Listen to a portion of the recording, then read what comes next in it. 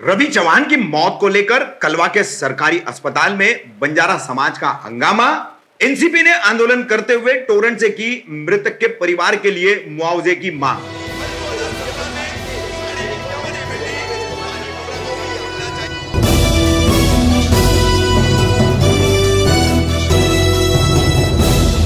मैं रफीक कामदार, हिंदुस्तानी रिपोर्टर में आपका स्वागत।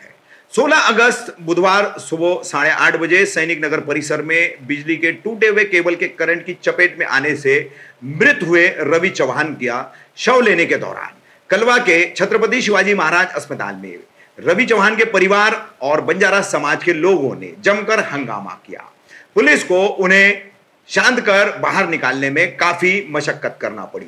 वहीं इस दौरान यहाँ पर राष्ट्रवादी कांग्रेस पार्टी के कलवा मुमरा के विधानसभा अध्यक्ष शमीम खान, पूर्व नगर सेवक ज़फ़र नोमानी और अन्य कई सारे पदाधिकारी कार्यकर्ता भी पहुँच गए। वहीं पर इन्होंने ज़मीन पर बैठकर आंदोलन करना शुरू किया। पुलिस ने बाद में इन्हें उठाते हुए टोरेंट के प्रबंधन अधिकारियों से और इन नेताओं तथा मृतक रवि चौहान के परिवार से बातचीत करवाई।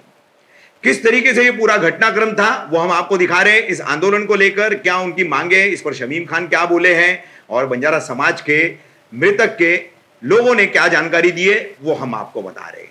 अंत में आपको बताते चले कि यह खबर बनाने के दौरान हमें कलवा मुमरा एनसीपी अध्यक्ष शमीम खान ने सूचित किया कि उनकी बातचीत से और उनके प्रयासों से टोरेंट कंपनी ने मृतक रवि चौहान के परिवार को चार लाख रुपए नकद मुआवजा देने की बात स्वीकारी है। साथ ही उसकी विधवा पत्नी और उसके भाई को कंपनी में नौकरी देने का भी उन्होंने ठोस आश्वासन दिया है। की जो दुकान है इसको बंद कर दो। मुमरा कोसा के अंदर एक एक इंसान के अंदर कहीं ना कहीं नफरत फैल चुका है। आज इतने लोग यहाँ मौजूद हैं। कलवा शिवाजी हॉस्पिटल में हम लोग इस वक्त हैं। और हम यहाँ पे तकरीबन उनकी मौत सुबह सात बजे हुई है। मामा आ, आ, आ, वो अपने वो अपने काम पे जा रहा था बेचारा। अपने बच्चों के साथ एक रोटी खा करके एक झोपड़े में अपने बच्चों के साथ एक रोटी खा सब्ज़ी खा करके अपने बच्चों को गले मिल करके हाथ मिला के काम पे जा रहा था। उसे क्या मालूम था कि मैं जाऊँगा तो लौट करके नहीं आऊँगा। वो अपने घर से निकला और रास्ते में वो तार टूटा हुआ पड़ा हुआ था। उसका बेचारे का पाँव पड़ा वो रवि चौहान साहब का वो जगह पे बेचारा इंतकाल हो गया एक्सपायर हो गया। एक हमारा भाई रवि चौहान अपने बच्चों से, अपने बीवी से, अपने मामा से सबसे दूर हो गया दूर हो गया। अल्लाह को प्यारा हो गया, भगवान को प्यारा हो गया। सुबह आप आठ बजे से आप सुन रहे हैं कि आपका ये टोरेंट का तार टूट गया था, इसके लिए हादसा हो गया। उसके बाद आकर के इस परिवार को ये मामा चीख चीख के फ़ोन पे कहता है कि भाई, हमको इंसाफ नहीं मिल रहा है। क्यों उसको इंसाफ नहीं मिल रहा है? उसको इंसाफ दो। ठीक है, मैं ये मानता हूँ ज़िंदगी और मौत का देनदार तो अल्लाह ताला है। उसको उसको मौसी कह रही है मौसी कह रही है कि हज़ार बार टूटा है। कहीं ना कहीं वो तीन बार तीन बार वायर टूट गया। मैं एक बात ये कहना चाहता हूँ कि कब इनके आँख खुलेंगे? सुबह के टाइम छह बजे सात बजे हादसा होता है। छह बजे वहाँ के मुकामी लोग कंप्लेन करते हैं तो आकर के वहाँ पे तार को ज्वाइन क्यों नहीं किया गया? अगर आज पे तीन बार फ़ोन किया अगर वो तार को जोड़ा गया होता तो शायद रवि चौहान का इंतकाल नहीं होता एक्सपायर नहीं हुए होते। आप क्या इंतज़ार कर रहे हो कि उसकी बॉडी को डालो एंबुलेंस में और गुलबर्गा लेके चले जाओ? हाँ, हाँ लेके जाएँगे। लेकिन हमारे बच्चों के इंसाफ की बात लेके जाएँगे। पहले क्या मांग क्या है आपकी के कारण गलती के कारण मैडम हम आपसे आपसे कहना चाहते हैं। आप दुमरा गौसा की भी एक सहाफी है मैडम। आप पत्रकार हैं। हम लोग हमेशा टोरेंट के खिलाफ आवाज़ उठाते हैं। और आज फिर कहना चाहता हूँ आपके माध्यम से ये सब बंद कर दो वसूली करना ये बिल ये ये प्लांटी मारना हाला मौका नहीं आज बोलने का। प्लांटी मारना विजिलेंस केसेस करना सबसे पहले वहाँ का सुधार करो। सबसे पहले सुधार करो। अगर आप सुधार नहीं करेंगे तो इस तरीके से और आपके माध्यम से ये शमीम खान अपने तमाम साथियों के साथ इस बात की घोषणा करता है। अगर मामा को इंसाफ नहीं मिला उस मासूम बच्चों को इंसाफ नहीं मिला उसके बच्ची को इंसाफ नहीं मिला उसकी बीवी को इंसाफ नहीं मिला यहाँ बैठे हुए तमाम आदिवासियों को इंसाफ नहीं मिला। तो हम यहाँ से यहाँ से टोरेंट ऑफ़िस में घुसेंगे और वहाँ जाके उनको बाहर निकालेंगे और मामा को बिठाएँगे। क्या मांग मांग ये है कि एक एक बच्चों को दस दस लाख यानी तीस लाख का मुआवजा मिलना चाहिए। ऐसी हम आपके माध्यम से मांग करते सर हैं। हर बार देखा जाता है कि टोरेंट से मुआवजा लेने के बाद मामला खत्म हो जाता है। तो क्या टोरेंट कंपनी ने कॉन्ट्रैक्ट लेके रखी इसी तरीके से?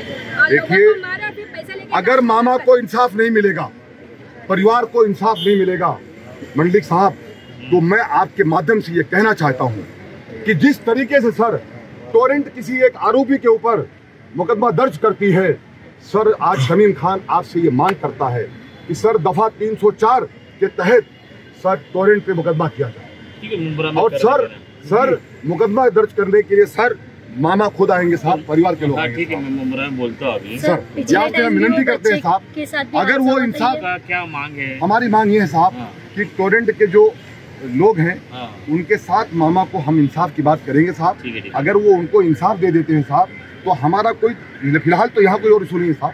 हमारी यही उनसे पहली मांग है। और अगर साहब वो उसको नहीं करते हैं तो मामा के साथ हम सब लोग चलेंगे साहब पुलिस स्टेशन में। सर उन पे तीन सौ हजार का मुकदमा दर्ज किया जाए सर नमस्कार म्हणली होते ते आपले हे समीम- समीम खान. समीम खान। समीम खान आपले आलेत आणि एक पन्नास एक लोक आहेत त्यांचे त्यांची मागणी आहे की तिथे गुन्हा दाखल करावा त्यांचे। तर म्हटलं तुमच्याकडे पाठवून देऊया। हा चालेल चालेल. एक मिनिट. बोलून या. सर नमस्कार।